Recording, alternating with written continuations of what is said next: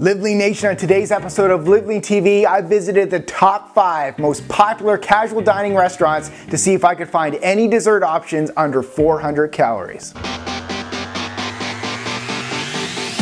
Welcome to Live Lean TV. I am your host, Brad Gouthro, the number one expert teaching you how to live lean 365 days a year. So most of us, we love dessert. But let's be honest, the idea of dessert is kind of crazy. It's usually a calorie-filled meal after another meal and most times the amount of calories in the dessert is actually higher than the main course. But I get it. We like to have something sweet after a meal. Fortunately, as a kid growing up, my family never really ate dessert at home and we rarely ordered it when we went to restaurants. So I'm not really a big lover of desserts. However, I realize it's a small percentage of you may like desserts. Okay, probably a hell of a lot of you actually like desserts. So does this mean you can't have it while you're eating out? More often than not, I'd say skip the dessert. However, every once in a while, like a cheat meal, a dessert can be enjoyed. But be careful because they're usually loaded with calories. But with that in mind, I decided to visit the top five most popular casual dining restaurants to see if I could find any dessert options under 400 calories. Do you think I had any luck? Let's find out the top five restaurants and see if they provide any dessert options under 400 calories. Number five, Chili's, nothing. Lowest option was a 750 calorie cheesecake. Yes, 750 calories for your after dinner meal. Yeah, damn. Number four, Red Lobster. Sorry, nothing.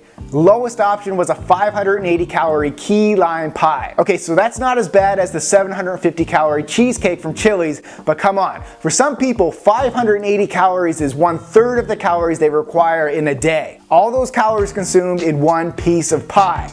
Brutal. Number three, Applebee's Success. I want you to check out their dessert shooter, the strawberry cheesecake. There's 390 calories, 24 grams of fat, 38 grams of carbohydrates, and 6 grams of protein.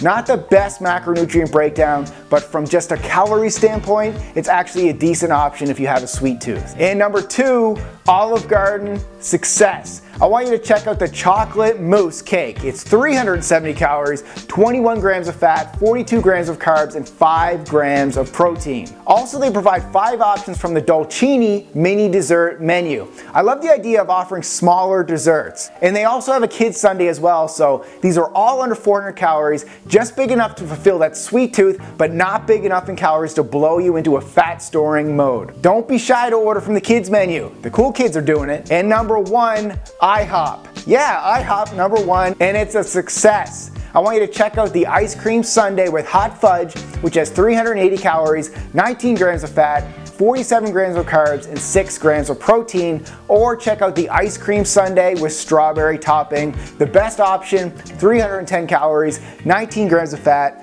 30 grams of carbs, and 6 grams of protein. So bottom line here guys, if you need to, order a dessert on occasion, but portion it out. Split it with one person that you're with, order from the kids menu, or as soon as the waiter puts the dessert on the table, cut it in half and ask them to take the rest and put it away but just don't bring it home. This will help you reduce all temptations. While you're living lean, it's not about depriving ourselves, it's about making smarter choices. Most times after your meal, a nice soothing tea is all you need to fix that sweet tooth craving. Give those tips a try next time you're craving a gut blasting dessert. You can thank me later. And for more daily tips like this, make sure you go over and subscribe to our second YouTube channel, Brad Gouthro TV, as we show you our daily videos of how both Jessica and I live lean and we show you our home cooked meals and late night snacks, and we actually bring you out to restaurants when we go to eat as well. You get a behind the scenes look and it's all free. Link to subscribe is in the video description below. And if you enjoyed this episode, make sure you give us the big thumbs up by clicking the like button below and also subscribe to this channel because we upload new episodes every Monday,